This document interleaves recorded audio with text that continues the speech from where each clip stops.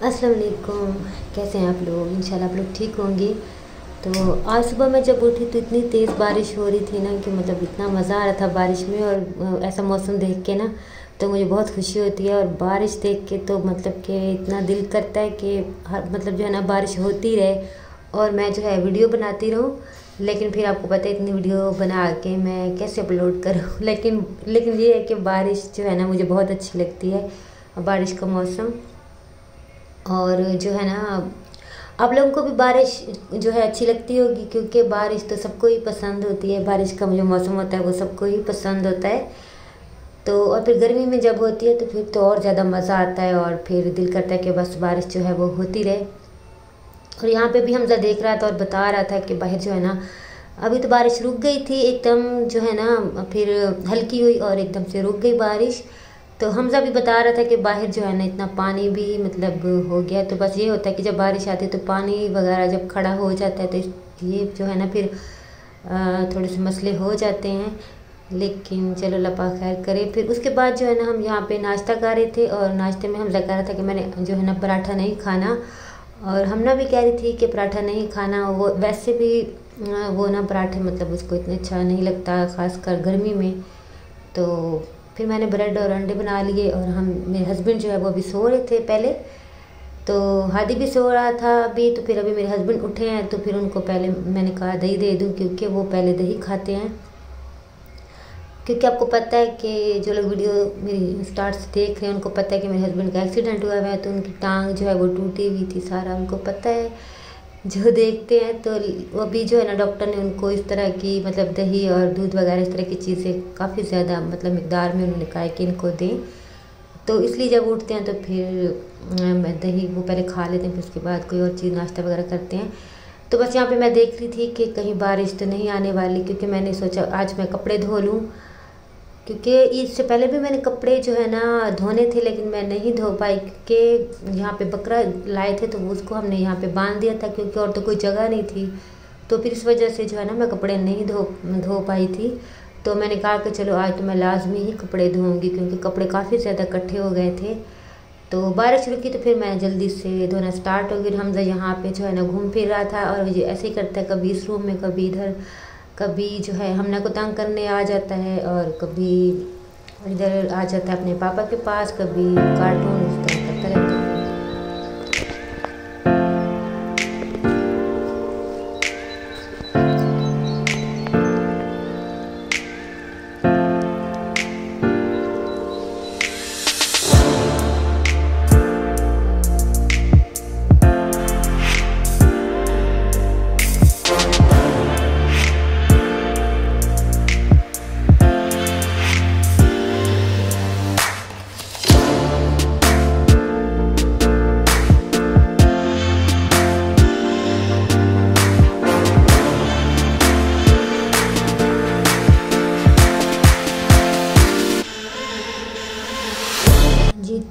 जो नाश्ता किया तो उसके मैंने बर्तन जो है वो मैंने कहा मैं साथ साथ धो लूँ। तो बर्तन भी मैंने धो लिए सारे, फिर उसके बाद जो है मैंने कहा चलो मैं खाने की तैयारी भी कर लेती हूँ साथ साथ। तो उसके बाद साथ मैंने चाय रखी हुई, क्योंकि मेरे हस्बैंड कह रहे थे कि अभी मैंने और कुछ नहीं लेना, बस मुझे ना अभी सिर्फ़ चाय दे दो। तो फिर मैंने जो है उनके लिए चाय रखी हुई थी और यहाँ पे मैं जो है खाने, सालन की तैयारी कर रही थी कि सालन बना लूँ। तो सालन में मैं बना रही हूँ आज टिंडे गोश्त, क्योंकि जो है ना गोश्त खा खा के ना तो अब दिल नहीं कर रहा था, बच्चे भी कह रहे थे कि अब नहीं खाना, कोई और चीज़ बना लो। फिर मैंने सोचा कि चलो सब्ज़ी डाल लेते हैं। तो हमारे पास नज़दीक जो शॉप्स हैं सब्ज़ी की, वो सारी बंद थी। तो उसके बाद जो ये हमें मिली जाके थोड़ी दूर से तो फिर मैंने टिंडे मंगवा लिए, यही मिल रहे थे। बाकी जो है ना हाँ पता नहीं उनके पास भी ख़त्म हो गई थी सब्ज़ी। क्योंकि लगता है गोश्त खा खा के ना लोग तंग हो गए हैं और सब्ज़ी जो है वो फिर सारी उनके पास शायद ख़त्म हो गई थी। तो कुछ और सब्ज़ी थी जो बच्चे नहीं खाते तो बस टिंडे मिले तो फिर मैंने यही मंगवा लिए। तो बस यहाँ पे मैं जो है टिंडे भी छील रही हूँ और काट भी रही हूँ साथ साथ किचन का काम भी और कपड़े जो हैं वो भी उधर धुल रहे हैं साथ साथ तो बस गोश्त जब गल गया तो फिर मैंने इसका मसाला भून लिया और यहाँ पे वीडियो जो है वो हमसा बना रहा, कह रहा था कि मैं बनाऊँगा। तो मैंने कहा, चलो आप बना लो वीडियो। तो फिर वो बना रहा था और कैमरे को काफ़ी ज़्यादा हिला रहा था।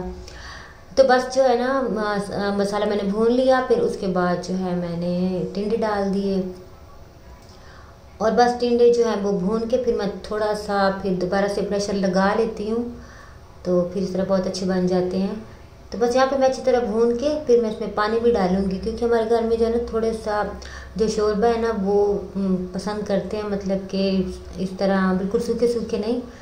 तो इस तरह तो थोड़ा सा शोरबा होना तो फिर शौक से खाते हैं। तो फिर सालन भी मैंने बस बना लिया था तो उसके बाद जो है कपड़े बस तकरीबन सारे धुल गए थे और इस तरह जो है ना मैंने बेड शीट जो है वो बाहर दीवार पे लगा दी थी मतलब डाल दी थी और कुछ कपड़े जो हैं वो मैंने इस तरह से चेयर्स पर डाल के और यहाँ पे मैंने पंखा लगा दिए थे क्योंकि यहाँ पे जगह नहीं है। मैं कब तक बता चुकी हूँ क्योंकि फ्लैट है तो इसमें इतनी जगह नहीं है कपड़े वगैरह डालने की। तो मैं इसी तरह फिर दरवाज़ों पे और इस तरह मतलब के चेयर्स वगैरह पे, चारपाइयों पे, हर जगह फिर मैं कपड़े डाल देती हूँ। तो बस यहाँ पे कपड़े भी जो है वो सूख रहे थे और यहाँ पे मेरी बेटी जो है, यहाँ पे हमने जो है वो एक दुबट्टा था तो उसको कह रही थी कि मैंने इसकी शर्ट बनानी है। तो मैंने कहा अच्छा चलो आप बना लो। तो सिलाई उसने कहीं से भी नहीं सीखी, बस जो है ना, वीडियो देख देख के ना तो थोड़ी बहुत उसने कटिंग सीख ली और खुद। ही और खुद ही जो है ना, वो मतलब कि कभी उसका मूड होता है तो फिर कुछ ना कुछ सी लेती है। तो यहाँ पे भी वो अपने लिए कुछ काट रही थी। अब देखो क्या सीती है। जब जो सीगी मैं आपको ज़रूर आपके साथ शेयर करूँगी। तो बस यहाँ पे जो है ना, कुछ कपड़े मैंने यहाँ डाल दिए थे और यहाँ पे जो है ना, मैं देख रही थी। कि मौसम जो है ना मतलब कैसा है, कहीं बारिश ना आ जाए। तो अभी आजकल बारिशें बहुत ज़्यादा हो रही हैं मतलब कि हर जगह ही बारिशें हो रही हैं। तो पता नहीं चलता तो मतलब कि बारिश अचानक से भी आ जाती है और बादल आ जाते हैं तो मैं यही देख रही थी। तो लेकिन ये था कि मौसम बहुत प्यारा हुआ था, ठंडा ठंडा सा। तो अच्छा लग रहा था। तो बस वीडियो को मैं यहाँ पे एंड कर दूँगी। मैंने कहा, चलो मैं आपके साथ शेयर कर लूँ। Thanks for watching. अल्लाह हाफि